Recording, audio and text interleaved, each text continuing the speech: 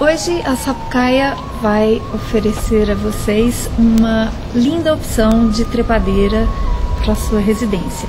É uma trepadeira que pode ser utilizada em carramanchões e pérgolas, né, em locais é, bem grandes, porque ah, o seu crescimento é muito vigoroso. Ela se chama Jade Vermelha e esse é o nome popular dela, né, ou mesmo a gente pode chamar de apelido. O seu nome científico é Mucuna benete e ela é atualmente das trepadeiras comercializadas de maior exuberância.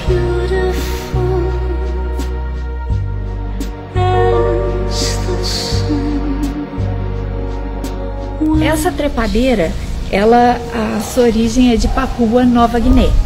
Lá o clima é equatorial e é uma trepadeira que se adapta muitíssimo bem em climas quentes. Né? Ela não suporta o frio, tampouco geadas.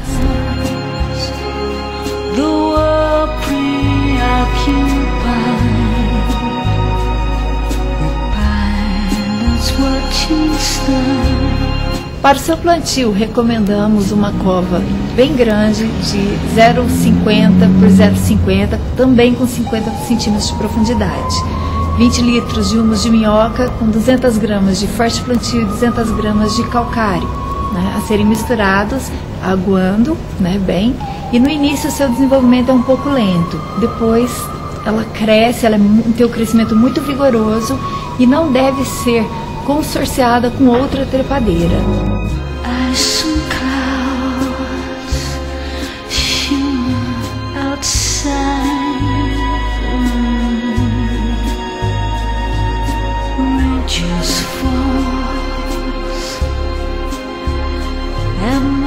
Você encontra essa muda na Sapucaia Paisagismo, assim como todos os adubos e também toda a assessoria técnica que você precisa para que o seu jardim continue sempre bonito e você tenha espetáculos tão lindos como esse na sua residência.